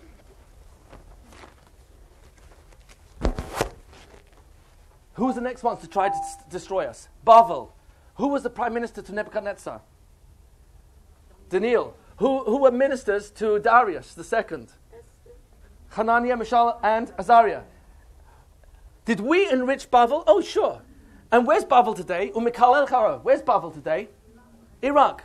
Did they ever recover as an empire? No, the ruins of Nebuchadnezzar's palace and Babylonia, the capital of the original Babylonian empire, still there in ruins. Kara. Who's next? Persians. Oh, did Haman have a go at us? Did we enrich the Persian Empire? Who was the queen? Esther. Who was one of the ministers? Mordecai. Chasach, some say was Daniel. Oh, yeah, we enriched that country, and when they turned against us, where's the Persian Empire today? Iran. Uh, Did they ever recover as an empire? Maybe a nuclear power. An empire? No. They never recovered. Keep going through. Yavan. Where's the Greeks today? The Greek Empire. We assimilated into their culture. Did they succeed? To an extent. But who's still, here to tell the story? Umikal el. Anyone who starts up with you, don't worry. Look back on history and ask yourselves, did I keep my promise? When you make a promise to someone, what are the two words you add on at the end? Bli neder. How many times does the Baruch say Bli neder in his Torah? Zero. Why? Oh, he controls everything. Why do you and I say Bli neder? We don't control. We don't know. We don't for sure. We have to say. We don't want to be held accountable. Hakadosh Baruch doesn't mind. He controls everything. Roman Empire. Did we did we enrich the Roman Empire? According to Josephus, we were nine percent of the Roman Empire. Three million Jews. There were thousands and thousands of Romans who were converting to Judaism. Yes, we enriched them. And when they tried to destroy us, where's Rome today? Where's Rome today? The Colosseum, Leaning Tower of Pisa, the Arch of Titus. They're gone. Finished. History. You keep moving through. I hope you don't mind me telling you a quick joke. It's actually happened. You've heard of Shaquille O'Neal? If you haven't, then I won't tell you. Yeah? Okay, Shaquille O'Neal. Um, he was once playing in Athens. In Athens, there's the, uh, the biggest and um, still left standing temple of the Greeks is in what's known as the Acropolis. So um, he, w- he was at the Acropolis. No, sorry. He was interviewed on national television. They asked him if he went to the Acropolis while he was playing in Athens. So he said, Man, you know, uh, Shaquille O'Neal is seven foot two. He's a basketball player. He said, Man, I went to so many clubs, I don't remember all their names. the Acropolis is still there. No one's davening at the Acropolis. There are no Greeks in the Greek Empire today to testify to a Masorah. We're still here telling the story. Check it off. Crusades, Inquisition, Spa- Spain. Did we, did we enrich Spain? Oh, yeah. Don Ferdinand, Shmuel Nugget. And when they turned against us, 1492, where's Spain today? An empire? Who said cleaning ladies? That's not, that's not, that's not an empire. Doesn't, that's not a criteria for an empire. Okay, they have a lot of control. Okay, fine. You watch the pattern. And keep going. The Cossacks, Tsarist Russia, communism, the Nazis. Yeah, they all had a go at us. You are an eternal nation. Perek Yud Zayin, Pasuk Zayin. I am your Elohim forever. It's a circle, has no beginning or end. You are an eternal nation. For us to be an eternal nation, that means if anyone wants to hurt us or destroy us in entirety, it cannot ever happen. Has anyone tried to destroy us? Oh, yeah. Haman. They've all had a pretty good go at us, and yet, are we still here? Yeah, we're still here. You know why? Prophecy. You are the seed of an eternal nation. Check it off. This is very powerful, very dangerous. Oh, this is so dangerous. Yadeh Teda says Avram Avinu, uh, Hakadosh Baruch to Avram Avinu, Yadeh Teda, you should surely know, Ki Yezarecha, your child will be, but Aretz Lo Lehemen, and land not theirs, Arba Ma'ois Shana, for 400 years. And after the 400 years, I'll take you out, with great wealth. Whoa, that's very dangerous. 400 years is pretty specific. Yitzhak is born in the year 2400, 2048. 2048. Yitzhak Avinu is born what day of the year? Your child will be, which day? Pesach. Which day Pesach? First day. And what time of day? Etzamayim. Midday. Ladies and gentlemen, ladies, sorry. Count 400 from Tesvav Nissan, count 400 years, 2048. What year do you come to? 2448. What happened on Tesvav Nissan, 2448? Yetziat Mitzrayim. Did Akash Baruch keep his promise? To the year, to the month, to the day, to the hour. When did we leave Mitzrayim? Oh, check it off. Has Hashem got a good track record so far? See, Nevuah is very dangerous. In the words of Rabbi Yaakov Emden, he said, B'chaye nafshi. He writes this in, in um, Beis HaSulam, which is introduction to his Siddur, 1724. He said, B'chaye nafshi. By the life of my soul, like a Lashon of a Shavuah. The more I contemplate all the miracles of Yetziat Mitzrayim, Matan Torah, uh, all the miracles in the Midbar, all the miracles in Tanakh, and I compare them to one miracle the survival of the Jewish nation. He says the survival of the Jewish nation is greater than all the other miracles combined. And he says the longer this galus continues, the more obvious it is that Akadosh Baruch Hu wants us to see that he is controlling history. It's not history, it's his story. And Nevuah brings this out more than anything else. Avram Avinu, we're still in Bris Bein HaBesarim, Perek Tesvav. I will give you the land. Did we enter the land under Yehoshua? Yes, check it off. Parshas Yisro, Perek Yud Tes Pasuk Tes. Hine, behold, ani ba be'av hanan. I'm coming to you, Moshe Rabbeinu, in a thick cloud. Ba'avur, so that Yishma ha'am, the nation will hear. B'dabri imach. I'm speaking directly with you, not through anyone else. You're not going to say to them, God spoke to me. They're going to hear me speaking to you. V'gam b'cha, and in you also, ya'aminu, they will be convinced, la'olam, forever. Whoa. You're telling me that throughout history, there will always be Jews who believe that HaKadosh Baruch Hu gave the Torah to the Jewish people through Moshe Benu at Har Sinai. Ladies and gentlemen, when we lift up the Sefer Torah, what, what do we say? Zois Torah, Asher Sam Moshe, Lifnei Bnei Israel, the same Torah. Do you know how many different versions there are of this Sefer Torah? In the last 3,322 years since Matan Torah. How many versions do we have? One. One version. Sfardim, Ashkenazim, Hasidim, all the same. Taimani Jews, just to be accurate and, and integral, they've got nine discrepancies. That means they've got nine variations that are not the way we have it. I'm going to share with you just one as one example. Gadol Avoni Minsai says Kain, Perek Dalet, uh, my avoin of going, being a wanderer for having killed my brother is too much for me to carry. In our Sefer Torah, it's Minsai st- spelt with a vav. In the Taimani Sefer Torah, it's without a vav. Minsai, for, it's, uh, uh, Gadol Avoni Minsai. So, let- let- let me, uh, I'm not going into Pshat right now, I'm just asking you to follow the, the, the spelling of the word. In our Sefer Torah, it's spelled with a Vav. Taimani Sefer Torah is spelled without a Vav. Guess what? It's read the same way, and it doesn't change the meaning of the word. All nine instances have the exact same type of situation, meaning that the word doesn't change in the way you read it, let alone the actual meaning of the word. So, correct. But what I, what I want to bring, sorry? What I want to what I want to bring out for you is the following. This Sefer Torah is written by hand by a sofer. And there are over 6,000 halachas in how to write a Sefer Torah. Just to show you the incredible, meticulous um, uh, madrega of loyalty to our Masorah, how many versions are there of the New Testament? Do you have any clue?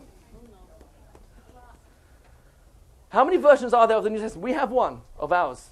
Ours is, by the way, don't look, but if you, if you go to a hotel and you open up the drawer, you'll see that our, our version, in comparison to the New Testament, New Testament is about one fifth the size of our Tanakh, right? It's 1700 years old. Ours is 3,320. Which 22? Which one would you expect to have most discrepancies? The older one, and it's bigger, so there's more chance of copying with mistakes. How many versions of the New Testament are there? Over 250,000. there are over a quarter of a million versions of the New Testament. Josh McDowell, who's an apologist for the Christian faith, an apologist is not someone who goes around saying sorry all day, he defends Christianity. So he, he says it's true that there are over a quarter of a million variations of the New Testament. However, it's only in 400 cases that the entire fundamentals of Christianity are at risk. You understand what he's saying? 400 cases. The whole of Christianity makes no sense. Only in 400? That's, that's talking, you're talking about Masorah? And here's probably the, the greatest nevuah of all. And this, kids, you've got to get it into their minds. Perek Dalet Pasuk Chavav Parshas Va'eschanan. Ki Sha'al Na. What does Sha'al mean?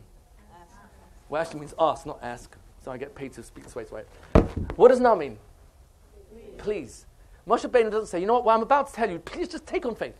Take on faith. I'm Moshe Benu, just trust me. He doesn't say that. He says, I don't care where you live. Kisha al please ask this question. What's the question he asked? Kisha al na liyamim rishayim. asher hayu lefanecha. Please ask about the days that came before you. Lemin hayayim. How much before you? From the day asher bar Elokim. Adam ala aretz. Please ask about the sixth day from the beginning of time. This is when we start measuring time. Please ask this question. Lemin hayayim asher bar Elokim Adam ala aretz. Lemiksei from one end of the universe ad keset hashemayim to the other end of the universe. Please ask, Haniyeh Kadava, Hagadol, Hazeh. Was there ever anything as great as this? Oy Hanishma Kamayu. Did you hear from anyone else anything as great as this? And what is this? Hashama Am Kol Elokim. Did you ever hear of a whole nation hearing the voice of Elokim, the power of all powers? Midaber mitochai, speaking from the midst of the fire. Kasher Shamata, like you heard, Vaichi and survived. Moshe Benu is essentially telling our children, us, please, you're over here, but I beg you, you're over there. Ask, did anyone else make a claim as great as this? Nobody. We're the only ones. You've got a powerful logic. No one can make this claim unless it happened. And we've got Nevuah to back it up. It will never happen again. Check it off. Parshas Bechukosai. You're going to go into exile. Perek Chavav. Did we go into exile under Bavel? Check it off. Yirmiyahu Perek Kaf Hey. How long will you be in exile before the rebuilding of the temple? Oh, 70 years. Why did Achashverosh have a 180 day party? Ladies, how many of you can handle three days Yom Tov? Okay, how about 180? What was he so happy about? Oh, he miscalculated that the 70 years was over. He had emuna in this nevuah. And when he, according to his miscalculation, saw that Bnei Israel did not go back to Eretz Israel to rebuild the temple, he was so confident he came out with his party wearing Bigdei Kohen Gadol, bring out the Kalim of the Beis Mikdash. He was out by five years. Some say three. Yes, did we return after 70 years? Check it off. Under Darius, the, da- the son of Esther. Perek Kavches, Parshas Kisavoy. You'll go into exile a second time. Check it off. Did we go into exile under the Romans? Check it off. We went into, into exile. In exile, you'll be scattered. Perek Dalet, Parshas Va'eschanan, Chavav onwards. You'll be scattered to the four corners of the earth. On all the continents, you basically see the little dots. Jews have been everywhere. As you can tell, I cover my Brooklyn accent very well. I'm born in London. My father is Italian. My mother's born in Baghdad. My wife is born in Bombay. Her father was born in Afghanistan. Her mother is born in Israel. Her mother's parents are both Persian. My father's mother was born in Brisk. Now I know I'm so confused. Have we been everywhere? You ask yourselves, your parents, grandparents, great grandparents, we've been on almost every continent. And according to Paul Johnson, in his History of the Jews, a Christian historian, very pro Israel, pro Jewish, he says that when you take a statistic of how many years, the average number of years we Jews have ever been on, in one place, it's about 50 years. We have been expelled and we have been forced out of our communities. Yes, you'll be scattered throughout the whole world. Do you realize what this is saying? You, the same you, will be identified thousands of years later, the same Jews. You take a Hispanic in America, how many generations does it take to be totally absorbed into American culture? One, maybe two at max.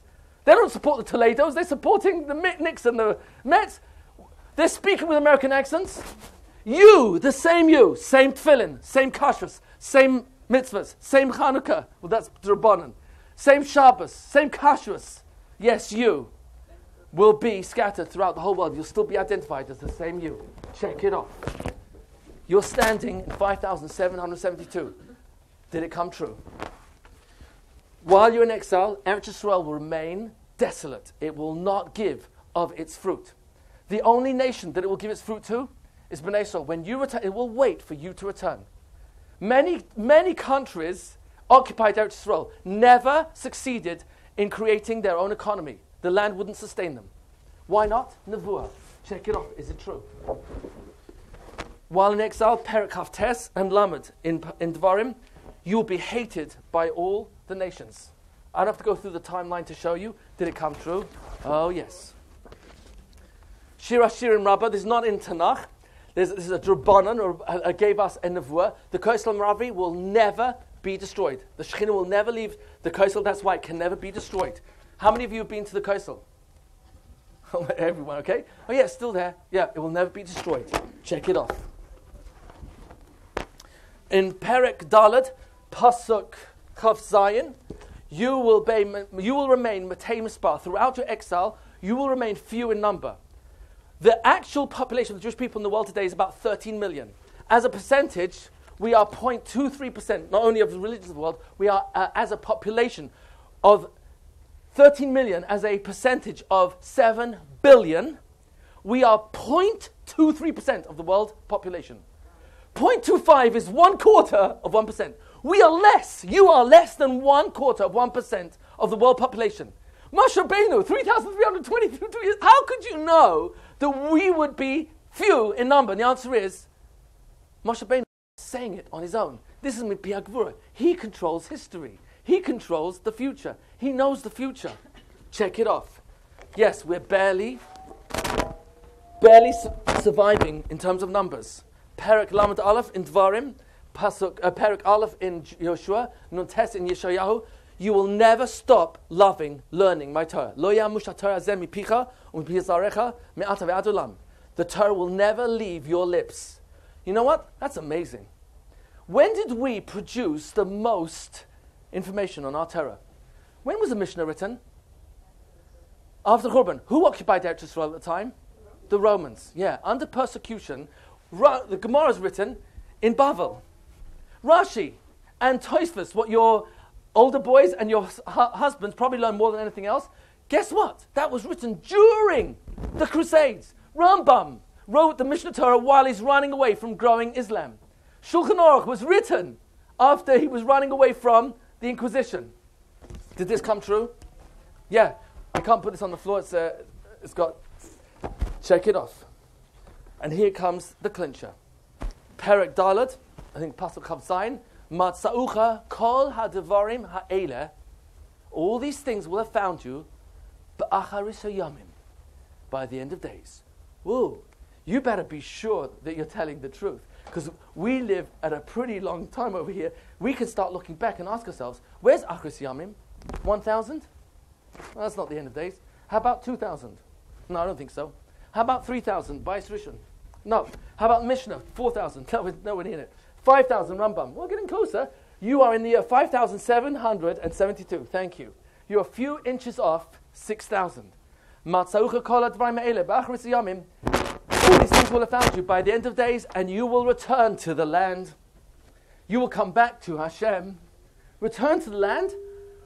Most Jews in the past 2,000 years of Golos never saw Eretz Yisrael, let alone lived there.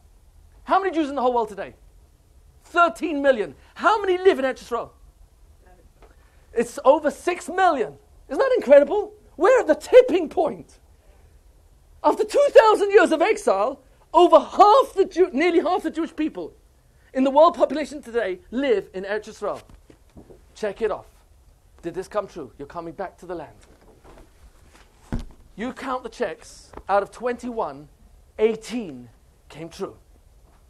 The only three that haven't happened, kibbutz galius, which some, I'm not saying a political statement, but some might want to say, hey, one second, six million live in Eretz Israel out of 13 million. Maybe we're on the way towards the kiyum, the fulfillment of this nevuah. The only three that haven't happened, do you know why they didn't happen? Because they haven't happened yet. Kibbutz Galias, Mashiach building Bais Shlishi, and Techiyas HaMeisim. Ladies and gentlemen, ladies and gentlemen, has HaKadosh Baruch Hu got a good track record? Or a perfect track record? Oh my gosh, he has a perfect track record. Do you think the last three might happen? Or definitely will? And the closing question is, why did HaKadosh Baruch Hu give us Nevuah? Because he wants us to be able to look back on our history, which is his story, and ask ourselves, Hashem, do you still love us? Have you been with us all along? And here's where I, I end, I truly mean it. I have a replica here. My father bought this for me from the British Museum. It's a replica of a 500 year old Haggadah. The oldest Haggadah in the world is 1100 years old, found in the uh, Cairo Geniza. It's in Cambridge University today. Let me share with you what you, every year, sing. He She'amda. You know what He She'amda is referring to? Bris Bein HaBesarim. You said that your children will be in a land not there for 400 years. Did you keep your promise to the year, month, day, hour? Yes. And that's the quote we sing in the Haggadah. And then we sing this song. That promise that you made to Avram Avinu, He She'amda. La'avoseinu v'lanu. You know why? Shelayecha. Because not only the Mitzvah stood up to destroy us. Bavel. El shebechol dar v'adayim dim aleinu. Pras. El shebechol dar v'adayim Yavan. El shebechol dar v'adayim Edom. והקדוש ברוך הוא מצילנו מידם. והקדוש ברוך הוא מצילנו מידם. He shamda. Crusades. He shamda. Yeah, they stood up in every generation. And the same way you promised, and you kept to the hour, that promise stands for us. And we are witnesses. Atem Edai, Num Hashem. Yeshayahu Mem Gimel says, You are my witnesses. You know why you're my witnesses? Your children, ask them, Did you sing Manishtana this year? Did your father sing Manishtana when he was a child? Ask him. If your grandfather, grandmother's still alive, ask them at the Seder night, Did you remember singing Manishtana when you were a child? And if their parents were still alive and I asked them, what would they say? Yes, I remember singing Manishtana. I remember singing Hishamda. And if you carry on, you'll go right back to the time of the writing of the Mishnah. And where did that story come from? Unbroken transmission, father to son, parent to child. And you're keeping your promises till now. Same Shabbos, same kashrus, same matzah. Why did HaKadosh Baruch do all this? Because he loves you. Why are you here? Because all these people lived and died for you to be here. What type of Jew did all our parents, grandparents, great grandparents live and die for that our children should be here? And ask your kids, what type of Jew will you choose to be? And the answer is their choice. But let's give them, who am I? Oh, I'm a Jew. Why am I frum Jew? Because my father wore tefillin. How do you know? He's an eid that his father wore tefillin for him. Your mother kept Shabbos, Kashrus, Tas Mishpacha. She's an eid that her mother kept Shabbos, Kashrus, the mitzvahs. And her mother's an eid. Oh, so you are witnesses that your parents are witnesses, that their parents are witnesses, going back to the original event.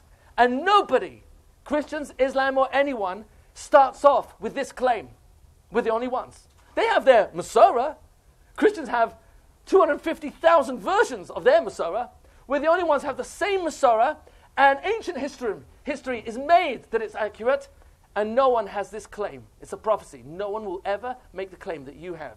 Hashem revealed himself once to the whole Jewish nation because it's based on emunah, certainty. That's how we know what we know. Because HaKadosh Baruch Hu loves us and will never let go of us. Will we let go of him? It's our choice. Thank you for your patience.